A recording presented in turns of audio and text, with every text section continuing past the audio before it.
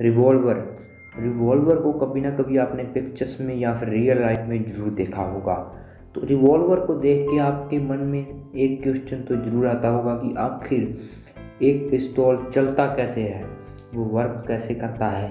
एक गोली रिवॉल्वर से कैसे निकलती है? कैसे शूट होती है? तो आज की वीडियो में हम इसी के बारे में बात करने वाले हैं। तो वीडियो को शुरू से लेकर एंड तक ज़रूर देखना। Without wasting time let's get start और अगर आपने अभी तक हमारे चैनल को सब्सक्राइब नहीं किया है तो जल्दी से जाकर सब्सक्राइब करो और साथ वाले घंटी वाले आइकन को दबाना मत भूलना। तो सबसे पहले बात करते हैं बुलेट की, जो कि एल्यूमिनियम की बनी होती है। बुलेट के अंदर फाइव पार्ट्स होते हैं। बुलेट फाइव पार्ट्स में डिवाइडेड होती है।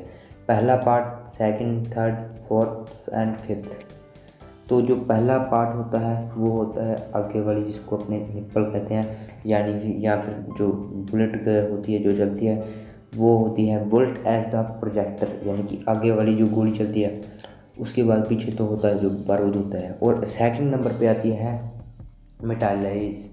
जो साइड से बुलेट को कवर करके रखती है जैसा कि आप पिक्चर में देख सकते हो।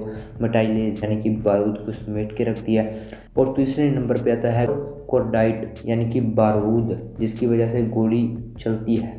और चौथे नंबर पे आता है रिम, जो गोली को, गोली के बारूद को पीछे से ढक के रखता है, जैसा कि आप पिक्चर में देख सकते हो। और लास्ट और फाइव नंबर पे आता है प्राइमर जिसकी वजह से गोली चलती है या फिर जिससे जिसकी वजह से बारूद को एनर्जी मिलती है। तो अब बात करते हैं कि आखिर ये गोली चलती कैसे है। अभी अभी आपको जो पाँच पार्ट्स बुलेट के बताए हैं, इनकी सहायता से बुलेट चलती है।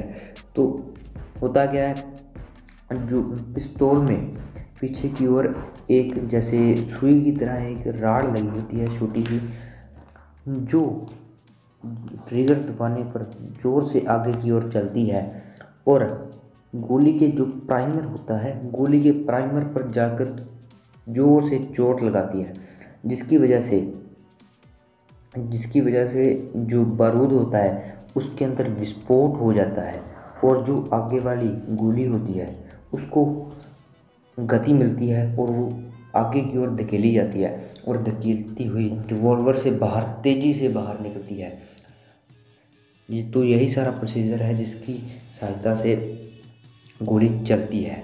तो उसके बाद जब गोली चल जाती है तो जो बारूद होता है, वो तो विस्फोट हो चुका होता है। गोली जो आगे वाली होती है, वो निकल चुकी होती है और जो रिम होता है, पीछे वाला, वो टूट चुका होता है। उसके बाद रहता, रह जाता है टोटल बचा ये सेल जो कि जब वीडियो को रीलोड करते हैं तो ये ऑटोमेटिकली बाहर निकल जाता है, जैसा कि आप वीडियो में देख रहे हो ऐसे ही। तो बस गाइज़ आज की वीडियो में इतना ही। फिर मिलेंगे किसी और बढ़िया सी और नॉलेज वाली वीडियो में। तो अगर आपने अभी तक हमारे चैनल को सब्सक्राइब नहीं किया है तो सब्सक्राइब करें और साइड साइड वाले घंटी वाले आइकन को दबाना मत भूलना। ताकि आने वाली वीडियो की नोटिफिकेशन आपको सबसे पहले मिल सके। और वीडियो को लाइक करना कमेंट करना और शेयर करना मत